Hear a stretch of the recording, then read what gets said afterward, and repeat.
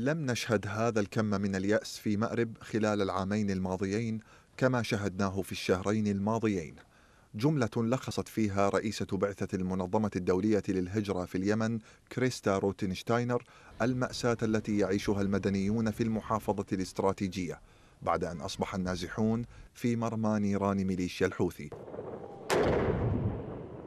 فمع تسارع وتيرة الحرب في مأرب التي استقبلت نحو مليونين وربع المليون نازح تدق المنظمة الدولية للهجرة التابعة للأمم المتحدة ناقوس الخطر مؤكدة فرار أكثر من 45 ألف شخص للمرة الرابعة أو الخامسة على التوالي بسبب قصف الحوثيين خلال الشهرين الماضيين وسط قلق متنام حيال احتمال اضطرار مئات الآلاف للنزوح مجددا. حالتنا كافذنا والله مرتاحين لما جاء الحرب هذه ونزحنا من, من إلى الروضة.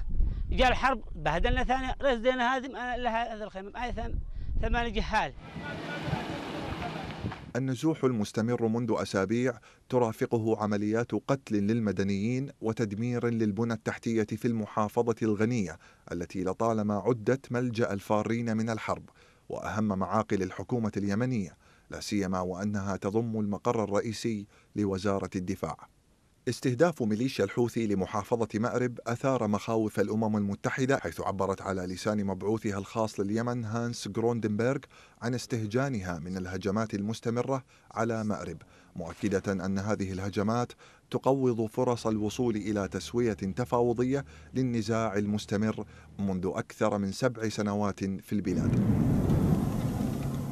التطورات الميدانية السريعة على الأرض دفعت التحالف العربي إلى شن سلسلة غارات جوية ألحقت هزائم على أصعدة مختلفة منيت بها ميليشيا الحوثي لصد العمليات العسكرية للميليشيا المستمرة منذ شهر شباط الماضي بهدف السيطرة على مأرب.